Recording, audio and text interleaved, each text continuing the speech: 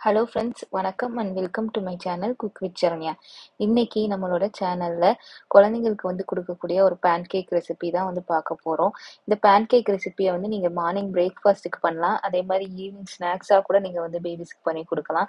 இது வந்து ஒரு எட்டு மாதம் குழந்தைங்கலேருந்து நீங்கள் வந்து கொடுக்க ஆரம்பிக்கலாம். இதில் வந்து நான் பேக்கிங் பவுடர் பேக்கிங் சோடா எதுவுமே ஆட் பண்ணுறது இல்லை அதனால இது ஒரு ஹெல்த்தியான ரெசிபியாக இருக்கும். நம்ம வீட்டில் இருக்க இன்க்ரீடியன்ஸை வச்சு நம்ம டக்குன்னு வந்து காலையில் பண்ணக்கூடிய ஒரு பிரேக்ஃபாஸ்ட் ரெசிபி இது.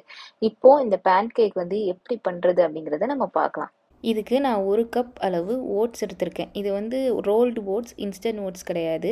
நீங்கள் ஓட்ஸ் வேண்டாம்னு நினச்சிங்கன்னா கோதுமை மாவு கூட எடுத்துக்கலாம். நான் ரெண்டை வச்சும் ட்ரை பண்ணியிருக்கேன். கோதுமை மாவும் நல்லா தான் இருக்கும்.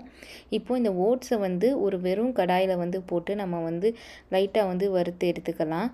இப்போ ஓட்ஸை வந்து நல்லா நம்ம வறுத்து எடுத்தாச்சு. இது நல்லா ஆறுனதுக்கு அப்புறம் ஒரு மிக்ஸி ஜாருக்கு மாற்றி இந்த மாதிரி நல்ல பவுடராக வந்து அரைச்சி எடுத்துக்கோங்க.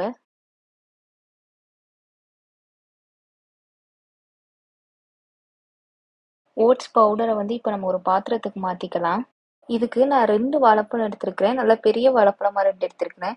நீங்கள் குட்டி குட்டி பழமாக இருந்தால் ஒரு நாலு வாழைப்பழம் வரை கூட நீங்கள் எடுத்துக்கலாம்.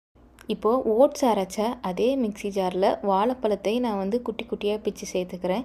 இது கூடவே ஒரு முட்டையும் சேர்த்துக்கிறேன். இப்போ வாழைப்பழம் முட்டை ரெண்டையுமே வந்து நம்ம வந்து நல்லா அரைச்சி எடுத்துக்கலாம். ஓட்ஸ் பவுடரோட நம்ம அரைச்சி வச்சிருக்கிற வாழைப்பழத்தையும் அந்த எக்கையும் வந்து சேர்த்துக்கலாம். இதில் இப்போ ஒரு அரை டீஸ்பூன் அளவு ஏலக்காய் பவுடர் கால் டீஸ்பூனுக்கும் கொஞ்சம் கம்மியாக உப்பு சேர்த்துக்கிறேன். இப்போ இது எல்லாத்தையும் நம்ம நல்லா கலந்துக்கலாம். நம்மளோட பேன் கேக்கோட பேட்டர் வந்து இப்போ ரெடி ஆயிடுச்சு. இதில் நான் ஸ்வீட்னஸுக்கு வந்து சுகர் எதுவும் சேர்க்கல. ஏன்னா நான் குழந்தைக்கு கொடுக்க போகிறதுனால சுகர் சேர்க்க மாட்டேன். நீங்கள் இனிப்பு கம்மியாக இருக்கும்னு நினச்சிங்கன்னா ஒரு கால் கப் அளவு சர்க்கரை கூட நீங்கள் சேர்த்துக்கலாம். தோசை தவா வந்து கொஞ்சம் ஹீட் ஆனதுக்கப்புறம் நம்ம மாவை ஊற்ற ஆரம்பிக்கலாம். குட்டி குட்டியாக வந்து பேன் கேக் சைஸ்க்கு வந்து ஊற்றிக்கலாம் மேலே வந்து நான் கொஞ்சம் நெய் சேர்க்குறேன்.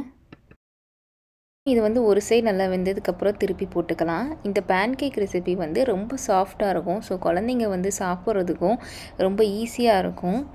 அவ்வளோதான் இப்போ நம்மளோட oats banana pancake ready ready ஆயிடுச்சு. இந்த கண்டிப்பாக ட்ரை பண்ணி பாருங்கள் ட்ரை பண்ணி பார்த்துட்டு உங்களோட கமெண்ட்ஸை கீழே கமெண்ட் செக்ஷனில் சொல்லுங்கள் இந்த வீடியோ உங்களுக்கு பிடிச்சிருந்துச்சுன்னா லைக் பண்ணுங்கள் என்னோடய சேனலை சப்ஸ்கிரைப் பண்ணாதவங்க மறக்காமல் சப்ஸ்கிரைப் பண்ணிக்கோங்க. Thank you with Saranya. டேஸ்ட் ஆகும்